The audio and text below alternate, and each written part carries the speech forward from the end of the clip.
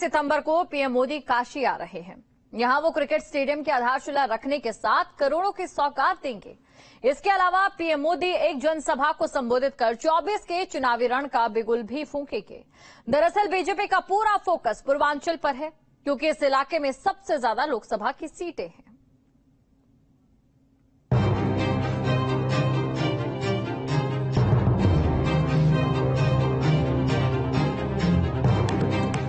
चौबीस के लोकसभा चुनाव के लिए बीजेपी का पूरा फोकस पूर्वांचल पर है। पूर्वांचल इसलिए भी अहम है, क्योंकि विधानसभा चुनाव में बीजेपी को यहाँ काफ़ी नुकसान हुआ था। कई जिलों में बीजेपी का खाता भी नहीं खुला था। ऐसे में बीजेपी चौबीस के चुनाव के लिए कोई रिस्क नहीं लेना चाहती, और इसी वजह से पीएम मोदी लगातार काशी आते रहते हैं।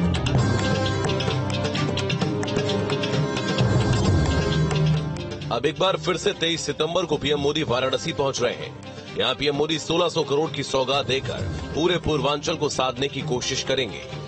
ये भी माना जा रहा है कि घोसी उपचुनाव में मिली हार के बाद पीएम मोदी का वाराणसी दौरा पूर्वांचल की चुनावी ज़मीन को मज़बूत करने के लिए है। पीएम मोदी काशी में जनसभा को संबोधित कर लोकसभा चुनाव 2024 के रण का आगाज़ करेंगे। दरअसल बीजेपी पूर्वांचल में अपनी पैठ बढ़ाने के लिए तैयारियों में जुटी है। पीएम मोदी के वाराणसी के तीन महीने के भीतर दूसरे दौरे से साफ़ दिख रहा है। कि उन्होंने 2024 लोकसभा चुनाव के लिए यूपी की कमान संभाल ली है और उनका फोकस पूर्वांचल पर होगा। काशी दौरे पर पीएम मोदी स्टेडियम की आधारशिला रखेंगे। ये क्रिकेट स्टेडियम भगवान शिव और उनसे जुड़ी चीज़ों की थीम पर आधारित होगा। इसके वास्तु में डमरू, त्रिशूल, बेलपत्र और गंगा घाट का स्वरूप होगा। स्टेडियम करीब 325 करोड़ रुपए की लागत से तैयार किया जाएगा। स्टेडियम तीस दशमलव छह एकड़ में बनकर तैयार होगा, जिसमें तीस हज़ार दर्शकों के बैठने की क्षमता होगी। प्रधानमंत्री नरेंद्र मोदी वाराणसी को अंतर्राष्ट्रीय स्टेडियम की सौगात देने जा रहे हैं। हम इस समय उसी जगह पर हैं जहाँ पर ये स्टेडियम बनकर तैयार होना है। तस्वीरों में आप देख सकते हैं कि ये जो आपको विशाल ज़मीन दिख रही है, ये लगभग 30 एकड़ में फैली हुई है और यहीं पर अंतर्राष्ट्रीय क्रिकेट स्टेडियम बनकर तैयार होना है। बात की जाए इस स्टेडियम को बनने में लगभग दो साल का वक्त लगेगा और इस स्टेडियम में तीस हज़ार दर्शक बैठकर अंतर्राष्ट्रीय स्तर के क्रिकेट मैच का लुफ्त उठा सकेंगे। इसके साथ ही इस स्टेडियम में हर वो अत्याधुनिक सुविधाएँ होंगी जो अब तक विश्व स्तरीय स्टेडियम में देखी जाती रही है। इसके साथ ही धार्मिक नगरी वाराणसी होने के नाते इस स्टेडियम का जो पूरा लुक होगा, वो भी धार्मिक नगरी के अनुसार ही होगा। इस स्टेडियम में भगवान शिव की नगरी में बन रही है स्टेडियम, इसलिए इसका स्वरूप भी शिव में होगा।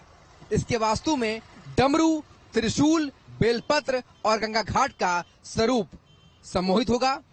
स्टेडियम का डिज़ाइन तैयार किया गया है। स्टेडियम की छत अर्ध चंद्रकार होगी।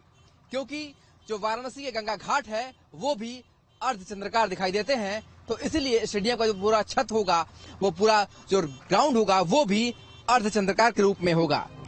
काशी में इस स्टेडियम के सहारे पीएम मोदी पूर्वांचल के युवाओं को साधने की कोशिश में है। आधारशिला कार्यक्रम के दौरान कई दिग्गज क्रिकेटर भी शामिल होंगे। कार्यक्रम को लेकर खास तैयारी की गई है। पूर्वांचल का ये पहला स्टेडियम होगा जो अंतर्राष्ट्रीय स्तर का स्टेडियम होगा।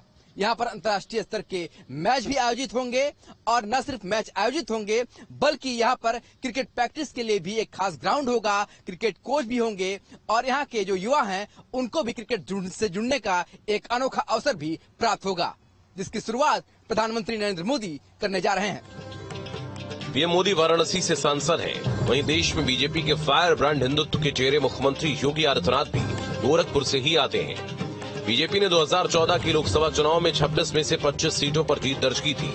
मोदी और योगी सरकार ने बीते छह सालों में पूर्वांचल के विकास पर फोकस किया है। Purvanchal expressway, Gorakhpur link expressway, Ballia link expressway जैसी बड़ी परियोजनाएँ धरातल पर उतारी हैं। वहीं अयोध्या में श्री राम जन्मभूमि पर भगवान राम के भव्य मंदिर का निर्माण तेज़ी से चल रहा है। चुनाव से पहले मंदिर की प्राण प्रतिष्ठा भी होगी। इसका फ़ायदा भी बीजेपी को मिलेगा। चौबीस के चुनाव में बीजेपी आस्था और विकास के सहारे मैदान में उतरेगी।